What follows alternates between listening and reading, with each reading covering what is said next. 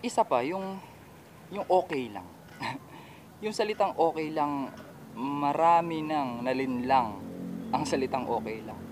No? Ah, madalas kapag tayo ay gulong-gulo sa mga isip natin, no? masyadong confused sa mga pangyayari sa buhay natin. Ang pinakamadaling sabihin mo na lang pag may nangamusta sa'yo ay okay lang.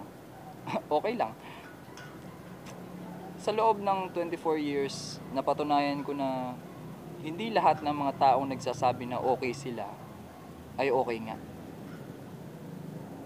Kaya recently, no, whenever na meron akong kausap, talagang talagang kina-challenge ko sa ko siya talagang talagang kinakausap ko um, talaga bang talaga bang okay ka? Okay ka ba talaga? Kasi mahirap, may, mahirap mag alam mo 'yun, napaka-unpredictable ng mga ganung pangyayari. Tapos all of a sudden malalaman mo na hindi man pala talaga okay. So 'yun. So isa kong natutunan ay mag-ingat sa okay lang. Ingatan natin 'yan. Ingatan natin yung mga times na merong nagsasabi na okay lang sila pero deep inside hindi. So anong ibig sabihin nun?